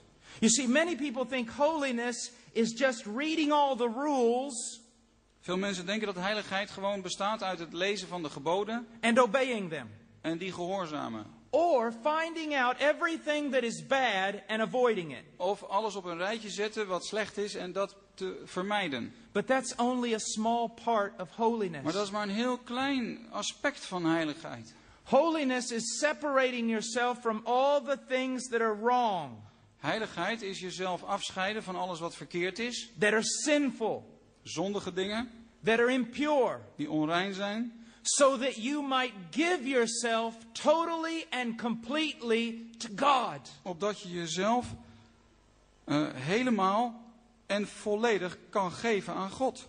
In the end, true holiness is a heart that burns with passion for God. Waar het op neerkomt is dat heiligheid voor de gelovigen hieruit bestaat dat er in je hart een passie voor de Heere God brandt. And therefore, it's not just rule keeping En daarom is het niet alleen maar je houden aan regeltjes en wetten or staying away from bad things, of wegblijven van verkeerde dingen. But it is a joyful, passionate pursuit of God. Maar het is een vreugdevolle en een, een gepassioneerd najagen van de Heere God. Delighting in God, En je verheugen in Hem rejoicing in en God, je verblijden in Hem. being filled with all the fullness of En God. vervuld zijn met de volheid van God. When my little daughter first was starting to learn to walk, Wanneer mijn eh, dochtertje voor het eerst eh, leerde lopen. Did I tell you my little daughter was the most beautiful girl in the world? Heb ik u wel eens gezegd dat mijn dochter het mooiste meisje van de wereld is? I think I told you that last year. Ik denk dat ik jullie dat vorig jaar heb verteld. I just wanted you to Ik remember. wilde alleen maar dat je je dat zou herinneren. When she was learning to walk, Toen zij leerde lopen, she pulled herself up on the table eh, trok ze zichzelf op aan de tafel. and she would balance like this. En dan balanceerde ze een beetje heen en weer. Now, she loves her daddy more than anybody in the world. Nou, ze houdt meer van haar vader dan van wie dan ook in deze wereld. So I would come by her Dus ik kwam bij haar staan and I would say, Rowan, en ik, zou, en ik, ik zei, Rowan, that's her name. dat is haar naam. Isn't it a beautiful name? Vindt u het niet een mooie naam? And I would say, I wouldn't do like this, like an American. En ik deed niet zo als een Amerikaan. I go like this, Ik, go like, ik deed zo like a Peruvian. als een Peruaan. And I'd say, Ben, Roy. En, Ben. en ik zou zeggen, Ben Roy. It means come. Dat- Dat betekent kom. And so Rowan would go like this. Dus Rowan, die deed zo. And then I would step out a little bit farther. En dan ging ik nog iets verder van haar vandaan staan. And she'd keep trying to reach En like ze this. probeerde nog steeds naar me uit te reiken. She'd take her leg and go like this. En dan deed ze haar been zo. What I was trying to teach her is this En wat ik haar probeerde te leren is dit. holiness. Heiligheid. Really. Echt. I was teaching her that her desire for me has to overcome her desire for that table. Ik leerde haar op dat moment dat haar verlangen naar mij sterker moest worden dan haar vasthouden aan die tafel. And that if she really wanted me, she was going to have to let go of this. En dat als ze werkelijk mij wilde, dat ze die tafel moest loslaten. Do you see what holiness is? Zie je wat heiligheid is? You really want God? Wil je echt God? Then let go of those things Laat die dingen dan los. because He is greater. Want hij is veel groter. He is more wonderful. Hij is meer heerlijk. He's worth giving up everything. Hij is het waard dat je alles voor hem opgeeft. That's what it means to live in a holy way. En dat is wat het betekent om heilig te leven. A person who's sitting there with a little book and, and checking off all the things they want to do but can't. Nou, iemand die eh, in, in zijn schriftje zit te lezen en eh, zijn checklist nagaat. Of die niet allerlei dingen doet die hij eigenlijk wel zou willen doen. They've got all these bad things that they want to do, En allemaal slechte dingen die hij eigenlijk wil doen.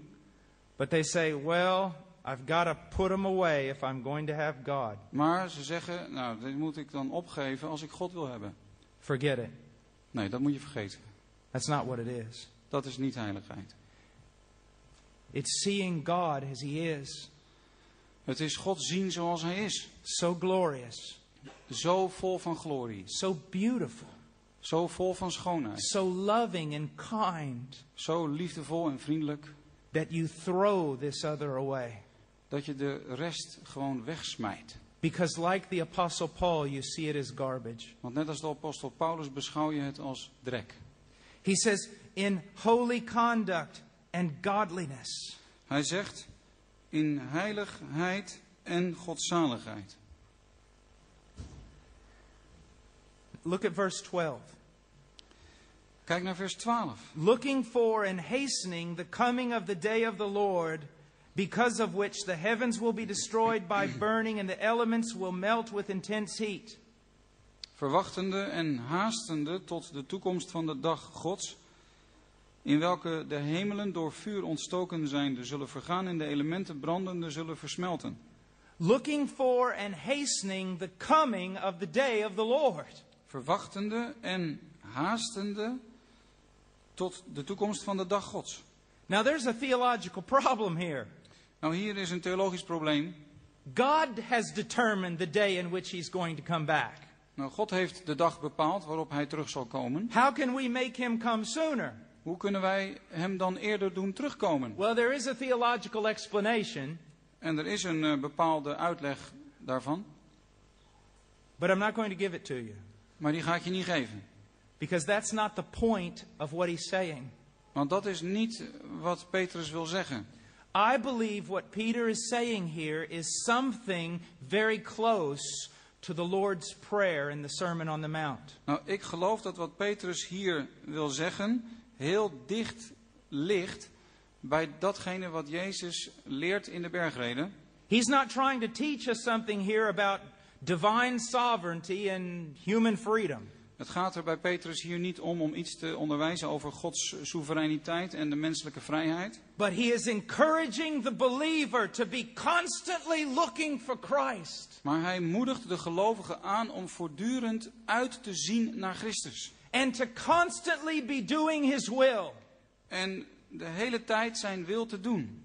to advance his kingdom, Opdat zijn koninkrijk verbreid wordt. crying out, Our Father who art in heaven, En uitroepende, onze Vader die in de hemelen zijt, hallowed be your name. uw naam worden geheiligd, Your kingdom come. uw koninkrijk komen. Let it come faster. Laat het sneller komen. Let it come fuller En laat het meer ten volle than komen anyone ever dreamed. dan iemand zich ooit heeft voorgesteld. And your will be done. En laat uw wil geschieden. Let your will spread throughout this earth like fire. En laat uw wil over deze aarde verspreid worden als vuur. Let the entire world be covered with the knowledge of God like the water that covers the seas. En mogen de hele aarde vervuld zijn van de kennis des Heren zoals de wateren de zee vervullen. That should be our heart. En dat behoort ons hart te zijn. I'm 47. Ik ben 47. I love life. Ik hou van het leven. I love my family. En ik hou van mijn gezin. But I've seen enough of this fallen world to know I don't want to stay here that long.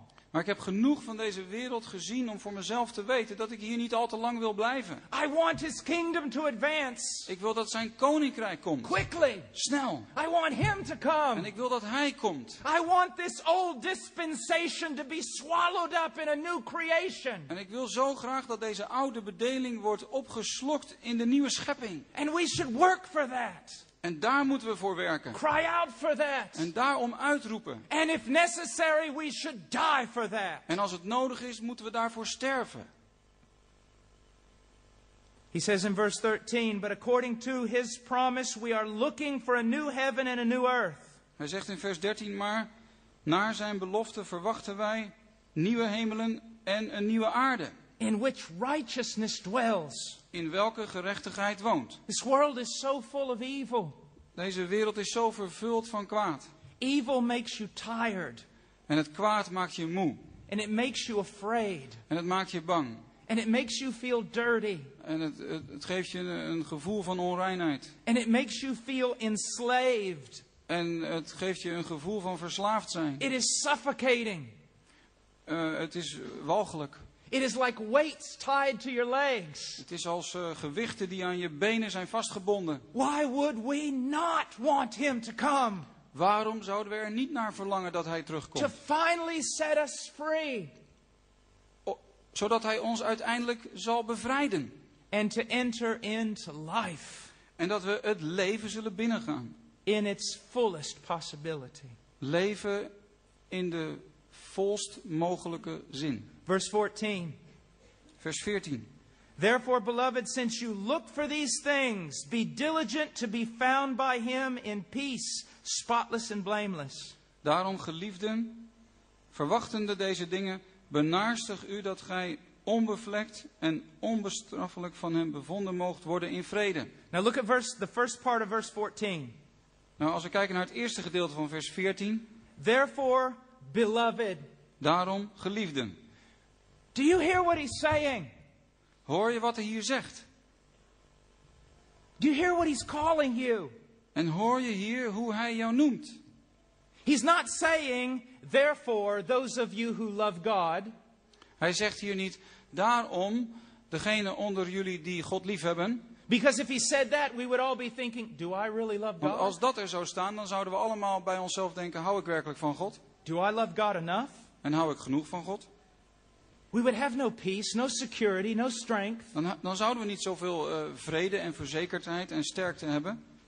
But he says, therefore, those of you who are loved of God. Maar hij zegt, daarom, degene onder jullie die geliefd zijn door God. One of the greatest truths in all the Bible. Een van de grootste waarheden uit de Bijbel. Look at John, the Apostle John, for a moment. Kijk eens naar de apostel Johannes. When he refers to himself in his gospel, he does not call himself by his name. Wanneer Johannes het over zichzelf heeft in zijn evangelie, dan noemt hij niet zijn eigen naam. He also does not say, the apostle who loved Jesus. En hij zegt daar ook niet de apostel die van Jezus hield. But he says, the apostle whom Jesus loved. Maar hij zegt de hele tijd de apostel van wie de Heer Jezus hield. He was not looking inside to see if he loved God enough. Hij zat niet naar binnen te kijken om erachter te komen of hij wel genoeg van Jezus hield. He was looking at Christ and realizing that he was perfectly loved. Maar hij keek naar Christus en kwam tot het besef dat hij volmaakt geliefd was. and eternally loved. En voor eeuwig geliefd was. His strength and confidence did not come from his love for Christ. Zijn kracht en zijn verzekerdheid kwamen niet voort uit zijn liefde voor Christus. But his strength and confidence came from Christ's eternal, unchanging love for him. Maar zijn kracht en zijn verzekerdheid kwamen voort uit de eeuwige liefde van Christus voor hem. Some of you live in a way that you're, you're always worried, you're always miserable, you're always afraid. Sommigen van jullie leven op zo'n wijze dat je je altijd zorgen maakt en dat je altijd je ongelukkig voelt en dat je altijd bang bent. Because you're constantly looking inside. Omdat je de hele tijd naar binnen aan het kijken bent. Do I love him perfectly? Hou ik wel volmaakt van hem? Did I repent perfectly? Ben ik volmaakt tot berouw gekomen? Do I believe perfectly? Geloof ik volmaakt? If you did all those things, you would have never needed to be saved. Maar als dat allemaal het geval zou zijn, dan zou je nooit behouden hoeven Stop, worden. stop looking inside. Stop ermee om naar binnen te kijken. Stop looking at yourself. En stop ermee om naar jezelf te kijken. Because you will find no confidence there. Want daar zul je geen verzekerdheid vinden. Look to Him. En kijk naar Hem. Look to Christ. En kijk naar Christus. And there you will find all the confidence you'll ever need. En daar zul je alle verzekerdheid vinden die je nodig hebt. It is not your power to be saved that gives you confidence. Het is niet jouw kracht om behouden te worden waardoor je je verzekerd voelt. But it is the power of Christ to save you. Maar het is de kracht van Christus die jou behoudt. Do you know the song, Oh, How I Love Jesus? Ken je het lied Oh, hoeveel ik, hou ik van Jezus? Oh, how I love Jesus. Mhm. You know that song? De- ken je dat lied? I don't like to sing that song very much. Ik hou er niet zoveel van om dat te, te zingen. I change the words. Ik verander de woorden. I sing, Oh, how Jesus loves me. Ik zing Oh, hoeveel Jezus van mij houdt. Because when I. Very good. I wasn't singing. We should start a. s- Uh, they only clapped for me. Oh. Pride cometh before the fall. Maybe we should start a song and dance team. I'll sing, you dance. Oké.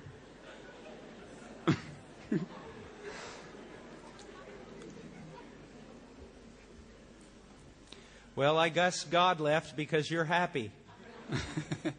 Ik geloof dat de Heer ook lacht, want u bent gelukkig. You see, we'll never be anything other than children. We zullen, we zullen niets anders zijn dan kinderen. Right now, I'm just rejoicing in the Lord. Op dit moment verheug ik me gewoon in de Heer. It's just wonderful. Het is gewoon heerlijk. But when I look inside Maar als ik naar binnen kijk and I look at my love for Jesus, en ik kijk naar mijn liefde voor Jezus, I really don't find much to sing about. dan vind ik niet zoveel waar ik over zal willen zingen. My love is so small Mijn liefde is zo klein and it's like this. It's never really stable. En het is niet erg eh, constant.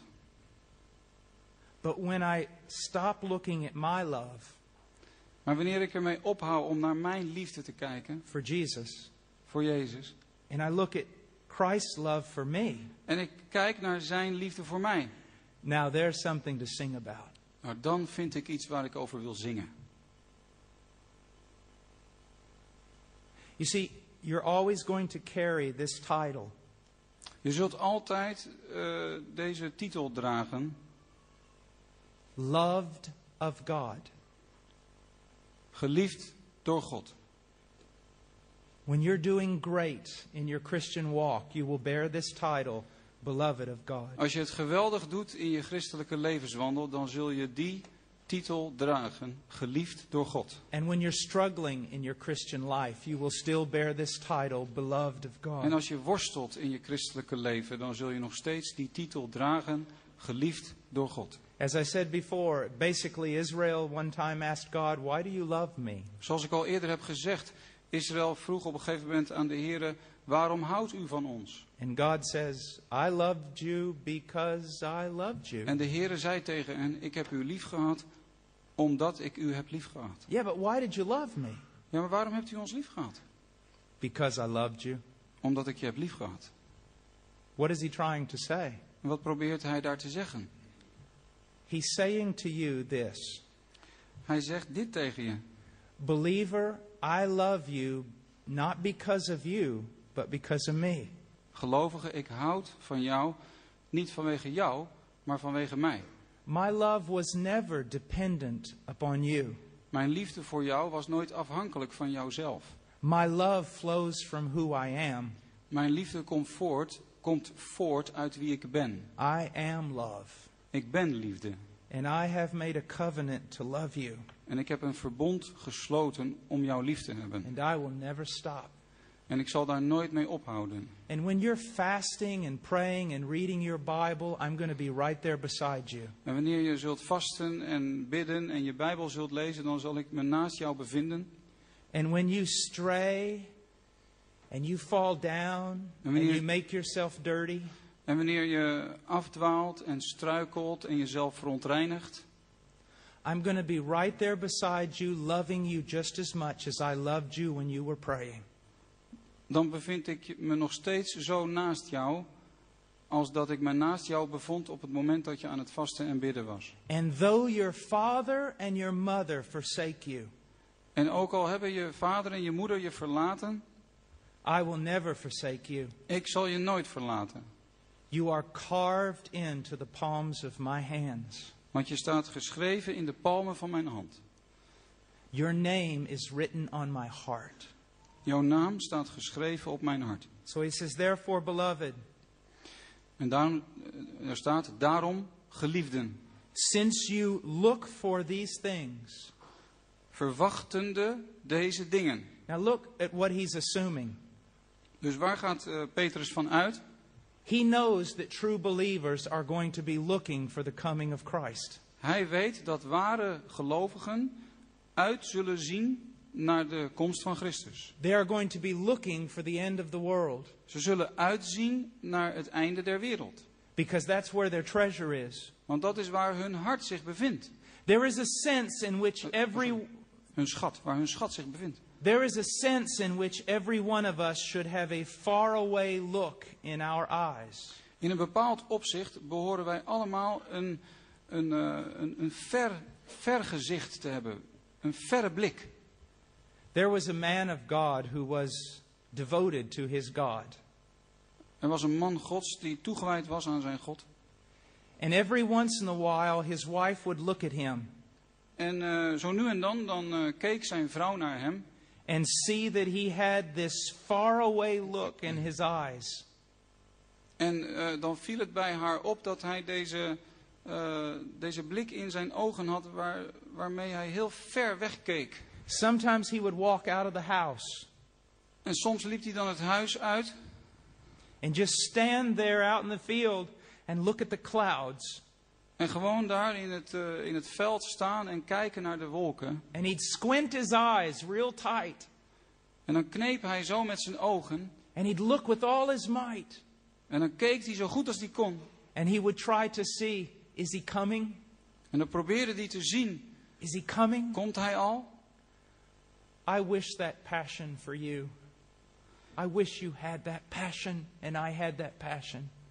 Ik wilde dat jij en dat ik dezezelfde, eh, hart, dezezelfde passie zouden hebben. Always looking for his coming. Altijd verwachtende zijn komst. And then he says, Be diligent to be found by him. En dan staat er, wees ijverig, benaarstig u, eh, door hem te worden gevonden, bevonden. When he comes back, he will find every one of his sheep. Wanneer hij terugkomt, zal hij elk van zijn schapen vinden. Though their bodies be buried in the bottom of the deepest sea, Ook al zijn hun lichamen eh, begraven in de diepte der zee, he will find them there. hij zal hen daar vinden. Though they fell in the deepest, darkest jungle, he will find them there. Ook al zijn hun lichamen te neergevallen in, de diepste, meest duis, in het diepste, meest duistere oerwoud, hij zal hen daar vinden. You never have to worry about being lost. Je zult je nooit zorgen hoeven te maken dat je verloren zult raken. He will find you Hij zal jou vinden, because his reputation is riding upon him finding you. want zijn, het heeft te maken met zijn eigen reputatie dat hij jou zal vinden. By finding you, he proves that he is the great shepherd. Want door jou te vinden laat hij zien dat hij de goede herder is. And of all that the Father has given him, he has not lost one. En dat van allen die de Vader hem heeft gegeven, hij niet één verloren heeft doen gaan. And finally, it says this En tenslotte zegt het dit. When he finds you, Wanneer hij jou vindt, you must be diligent to be found in peace, spotless, and blameless. moet je je benaastigen om te mogen worden gevonden, ehm, onbevlekt en onbestraffelijk. Here's what the Lord desires for you two things Dit is wat de Heer aangaande jou verlangt. Twee dingen. peace Ja, in vrede, vrede and purity. en reinheid. We could also say innocence. We kunnen ook zeggen ehm, met een rein geweten. First of all, the Lord desires to find you in peace with Him. In de eerste plaats, de Heer verlangt er nou dat, dat Hij jou zal aantreffen in vrede met Hem. There are so many true believers whose hearts know nothing of peace. Er zijn zoveel ware gelovigen die in hun hart niets kennen van ware vrede. Because they're always looking at themselves instead of looking at Him. Omdat ze altijd naar zichzelf kijken in plaats van dat ze naar Hem kijken. They're always considering their failures rather than looking at His perfect En work. ze schouwen altijd naar hun eigen falen in plaats van dat ze kijken naar Zijn volbrachte werk. Young Christian, listen to me. Dus jonge gelovigen, luister naar me. If you think that one day you are going to be so godly that then you'll be able to have peace, you are wrong. Als jij denkt dat er eh, eerst een. Godly? God? Godly. Ja, dat er eerst een dag moet komen waarop jij van jezelf kunt zeggen dat je nog veel meer godvrezend bent dan nu. Dat er een dag moet komen waarop je heel godvrezend zult zijn om dan vrede te kunnen vinden, dan zit je ernaast. Your peace does not come from your performance. Want de vrede is niet het gevolg van jouw eigen verdiensten. It comes from the performance of Christ. Maar het komt vanwege de verdiensten van Christus. To truly believe Him. Om waarlijk in Hem te geloven.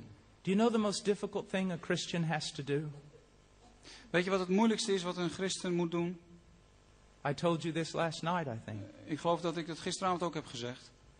The most difficult thing you're ever going to have to do Het meest moeilijke wat je ooit zult moeten doen, is to believe that God loves you as much as He says He does. is om te geloven dat God net zoveel van je houdt als dat Hij zegt dat Hij van je houdt. As a Christian, as a matter of fact, you're supposed to spend the rest of your life trying to search that out. Als een christen behoor je de rest van je leven te besteden aan het daar achterkomen.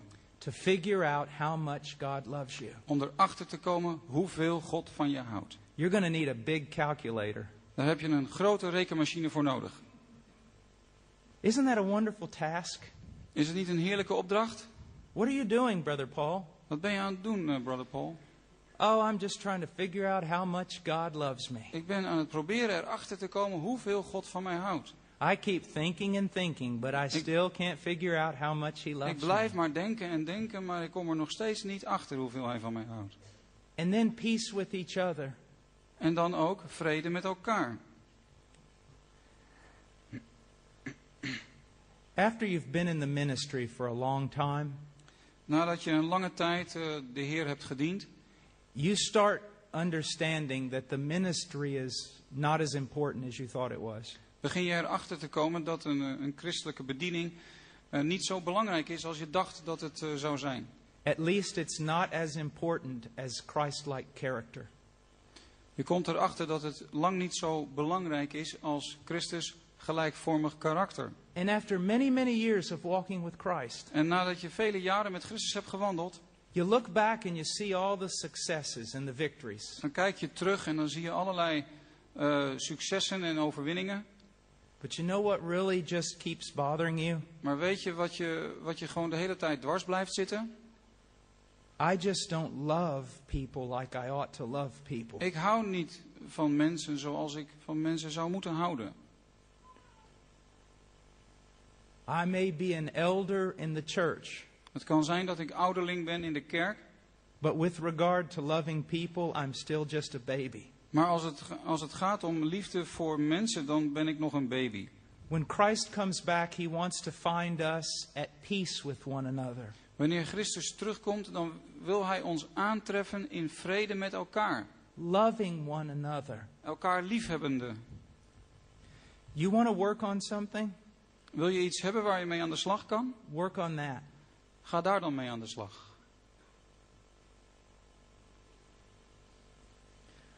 Brother Charles told me one time, he probably won't even remember, but he told me this one time. Eh, Brother Charles heeft mij een keer dit gezegd. Misschien herinnert hij het zichzelf niet eens. In the new covenant, In het nieuwe verbond love is not one of the things, is liefde niet één van de vele dingen, it's everything.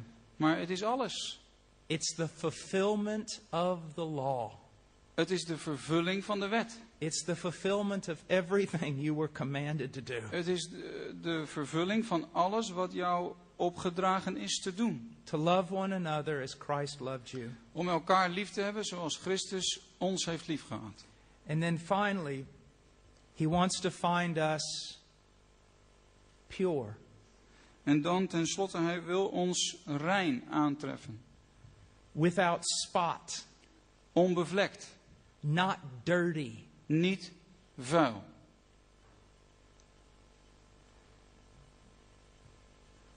God wants you to be pure because He loves you.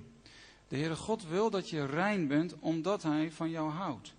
You know, the devil continues to do today what he did at the very beginning with our first parents. Weet je, de duivel doet vandaag de dag nog steeds wat hij in het allereerste begin met onze eerste ouders deed. He lies.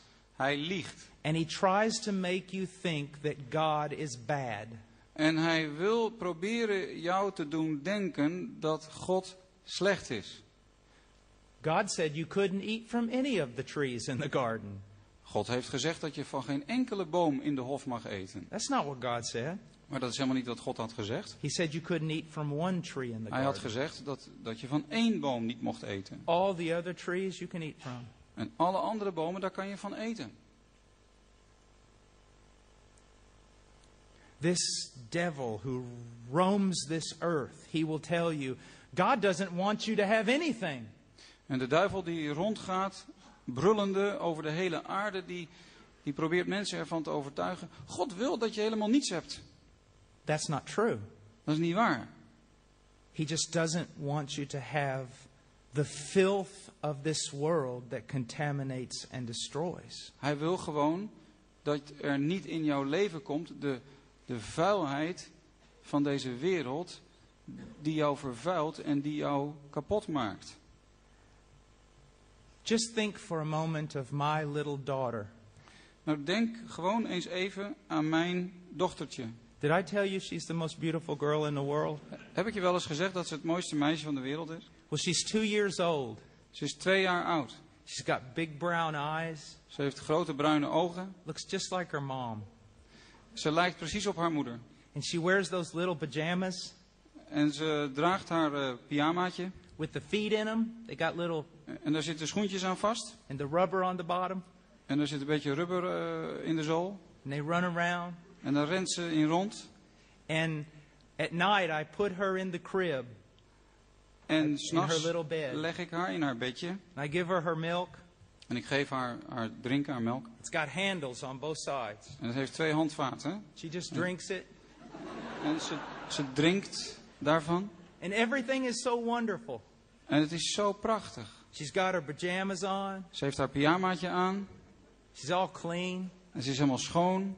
You know how babies smell? Je weet hoe babytjes kunnen ruiken. That's why I just want to keep having more babies. I love that smell. Daarom, daarom wil ik graag meer baby's krijgen, want ik hou van die geur. And she's so just, she's so cute. En ze is zo schattig. And I can just look at her. En ik kan naar haar kijken. And it's really hard for me to leave the room. En het is moeilijk voor mij om de kamer te verlaten. Imagine the next morning I walk in the room Stel je voor dat ik de volgende ochtend die kamer binnenloop. And I go over to the crib En ik ga naar haar bedje. and she hasn't jumped up to see me like she always does. En ze, ze, ze kijkt niet op om eh, naar mij te kijken zoals ze gewoonlijk doet. Because every day in the morning when I walk into her room, Want elke ochtend als ik haar slaapkamertje binnenloop, she jumps up, dan springt ze op. she does this little dance. Dan danst ze een beetje. Oh, I, you, you need to do the dance. Little dance. He hates me. well, you can do it at home when you're alone. When she wakes me up. Well, I walk in there and she doesn't jump up. Maar ik loop haar slaapkamertje binnen en ze springt niet op. And so I walk over there Dus ik, ik loop naar haar bedje toe. And I become so furious I can kill with my bare hands. En ik word zo woedend dat ik kan doden met mijn blote handen. Because sometime in the night, Want ergens gedurende de nacht a huge, filthy serpent crawled out of the sewer. Want ergens in de nacht is er een, een grote, vreselijke slang uit het riool gekropen. And it got past my bedroom door. En die is voorbij mijn eigen slaapkamerdeur gekropen. And it climbed into bed with my little daughter. En die is in het bed van mijn dochtertje gekropen. And it wrapped its filthy body around her. En het heeft zijn vuile lijf om haar lichaam gewikkeld. And it dirtied her. En het heeft haar besmeurd. And it strangled the life out of her. En het heeft het leven uit haar weggewurgd. I will grab that thing and rip it apart with my bare hands. Ik zal dat ding te pakken krijgen en het uit elkaar scheuren met mijn blote handen. That's how much God loves you. Zoveel houdt God van jou. That's why God does not want you in this world. Dat is waarom God wil dat je je niet in de wereld bevindt. He wants you loving Him, Hij wil dat je van Hem houdt. laughing with Him, Dat je met Hem lacht. chasing Him, Dat je naar Hem jaagt. playing with Him, Dat je met Hem speelt. rejoicing before Him. Dat je je verheugt voor Zijn aangezicht.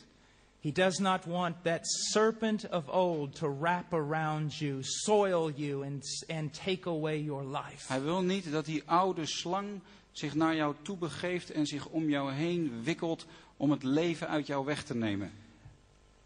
If there are pastors and missionaries Als er eh, predikanten, zendelingen zijn and fathers here tonight, en vaders hier vanavond, one of your responsibilities één van jouw verantwoordelijkheden If you're a pastor, it's to watch over the sheep. Als je een pastoor, een herder bent, is het om te waken over de schapen. And you see that serpent getting near them, En als je ziet dat die slang dan in de buurt van de kudde komt, and you stomp his head in the ground in the name of Jesus Christ. dan begin je op zijn kop te slaan in de naam van Jezus Christus. You're a father, Als je een vader bent, it is your job to guard your home. Dan is het je taak om te waken over je gezin. And you see that serpent crawling around your neighborhood, En je ziet dat die slang zich in je, in je buurt bevindt, you stomp his head into the ground in the name of Jesus Christ. dan sla je zijn kop de grond in in de naam van Jezus Christus. That's why Paul said En dat is waarom Paulus zei, to be strong wees sterk and to act like men. en wees mannelijk. Because there is one like a roaring lion seeking whom he may devour. Want er is er één die als een brullende leeuw rondgaat om te zien wie hij zal verslinden. That is why the true shepherd, Dat is waarom de ware herder, the true pastor, de ware eh, pastoor, the true missionary, de ware zendeling the true father en de ware vader lays down his life for the sheep. zijn leven neerlegt voor de schapen. How then shall we live? Hoe zullen wij dan leven?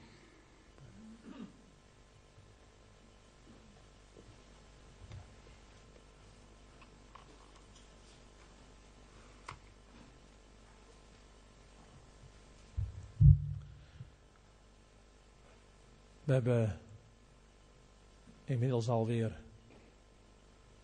acht preken gehoord, acht boodschappen gehoord. En de grote vraag is, wat gaan we met het woord doen, wat we de afgelopen dagen gehoord hebben? Het woord is gezaaid, het evangelie, het woord van de genade is in ons midden gezaaid en nou zijn er vier mogelijkheden. De Bijbel zegt dat als het zaad gezaaid wordt, dan is er een mogelijkheid dat de vogels van de hemel komen. Dat boze geesten, dat Satan komt en dat we naar huis gaan en dat het woord weggeroofd wordt uit onze harten. Dat is de eerste mogelijkheid. Het verharde hart, het harde hart. Er is geklopt op je hart, er is geklopt op uw hart en we gaan gewoon verder. De tweede mogelijkheid is dat het woord gestrooid is en gezaaid is en dat we zullen zijn als die Amerikaanse jongelui. We lachen en we klappen en we zeggen, Paul Washer heeft weer een goede boodschap gebracht. Maar het verandert uiteindelijk ook niet ons leven. We zijn geëindigd in de spreker. We zijn geëindigd in de sprekers die geweest zijn. En we zeggen, hij heeft het weer mooi gezegd. Dat is het emotionele, het enthousiaste hart. Dat is zoals die wortel hè, die opkomt, maar er komt verdrukking en vervolging om het woord en uiteindelijk worden we geërgerd en uh, we hebben er geen behoefte meer aan. De derde mogelijkheid is dat het woord wel gehoord hebben, maar dat de zorgvuldigheden van het leven en de probleem van de rijkdom van de wereld en de begeerte omtrent de andere dingen inkomen. Gewoon alledaagse dingen. We gaan naar huis. Morgen gaan we misschien op vakantie. Volgende week gaan we op vakantie. We gaan weer over tot de orde van de dag. Het is zoals het zaad. De doornen die het zaad wat gezaaid is, het evangelie. Het woord van de genade is gezaaid deze laatste dagen, maar we gaan gewoon over. En uiteindelijk zijn het de alledaagse dingen, de verleiding van de rijkdom, de zorgvuldigheden van het leven. Maar uiteindelijk verstikken ze het woord van God en we blijven onvruchtbaar. Dat is de derde mogelijkheid. Het hedonistische hart. Het hart wat uiteindelijk toch blijft opgaan in de dingen van deze wereld. De zorgvuldigheden van het leven. Het verandert niet. Wat Paul heeft gezegd, het, het, het laat uiteindelijk deze wereld niet los. Maar het blijft zich vastklampen aan de zorgvuldigheden van deze wereld en de rijkdom. Maar nou de vierde mogelijkheid. En God weet of dat ook daadwerkelijk dat het spoor gaat worden. Dat dat in ons leven tot een werkelijkheid wordt. Er staat, en deze zijn die in een goede aarde bezaad zijn. Welk het woord horen en aannemen en dragen vrucht. Het ene dertig en het andere zestig en het andere honderdvoud. Dat het evangelie gebracht is. Met het verlangen dat het daadwerkelijk verandering gaat brengen in onze harten. Want daarom zitten we hier toch. Wees eerlijk. Laten we vanavond En de evaluatie opmaken. We zijn hier toch niet gekomen voor entertainment. We zijn hier toch niet gekomen om weer zomaar zeven, acht preken aan te horen. Maar we zijn hier gekomen in een verlangen dat daadwerkelijk ons leven verandert. Dat het vrucht gaat voortbrengen. Nou, wat is er nodig? Wel, dat staat hier dat we het niet alleen horen met onze oren, maar ook aannemen. Dat wil zeggen dat het naar ons hart gebracht wordt. Dat er een connectie komt van ons hoofd naar ons hart. En als er dan onder ons zijn die nog onbewogen zijn gebleven onder het woord, dan is het mijn gebed dat je straks niet zomaar weer snel van je stoel opstaat en weer naar de, naar drinktafel gaat en weer lekker de boodschap wegdrinkt. Maar blijf nou straks eens, ook na de getuigenis, nou gewoon eens hier tien minuten, kwartier stilzitten. En jezelf afvragen, wat heb nou dit weekend, al die preken, wat heb het nou uitgewerkt in mijn leven? Wat ga ik dan morgen anders doen? Wat ga ik dan morgen anders doen? God is namelijk uit op verandering van ons leven. We moeten wegkomen van het wereld. En dat betekent dat er ook daadwerkelijk keuzes gemaakt worden. Dat we morgen dingen anders gaan doen. En natuurlijk hebben Gods Heilige Geest daarvoor nodig. En ik vond het heel indrukkend wat Paul ook heeft gezegd. En dat is die uitspraak, daar wil ik dan, voordat we gaan zingen, nog mee, mee sluiten. Velen zouden op hun sterfbed nog één gelegenheid krijgen om het leven over te doen. Die zullen ze echter niet meer krijgen. Stel je nou voor dat vanavond het je sterfbed wordt. Welke dingen zou je dan anders gaan doen? Hiskia, die kreeg nog 15 jaar. Hij kreeg de boodschap dat hij zou bereid je huis en jezelf, jezelf sterven. Stel je voor dat we zo'n boodschap krijgen, bereid je huis, want ook jij moet sterven. En toen kreeg hij nog 15 jaar. Wat zou je dan anders gaan doen in die 15 jaar? Niet in activisme, maar in afhankelijkheid van de Heer. De hartkrijgconferenties zijn er niet om jullie bezig te houden, maar ons verlangen is dat jouw leven, dat uw leven, dat mijn leven, dat het daadwerkelijk verandert. Dat wij Christus gelijkvormig, Christelijk, Christus gelijkvormig worden. En daarom dat lied. Moet ik gaan met lege handen zo mijn heiland tegemoet, zonder één verloste zondaar mee te brengen aan zijn, aan zijn voet. Dit lied is heel erg sterk gericht op evangelisatie. Moet ik gaan met lege handen. Maar het gaat me ook vooral ook om die woorden uit het derde couplet. Hoeveel jaren die ik verspilde, kwamen zij nog eenmaal weer. Ik zou ze wijden aan mijn heiland, dankbaar leven tot zijn eer. Nou, de rest van de context gaat over het zielenwinnen van de Heer, maar het heeft ook alles te maken met heiligheid en reinheid, met puurheid.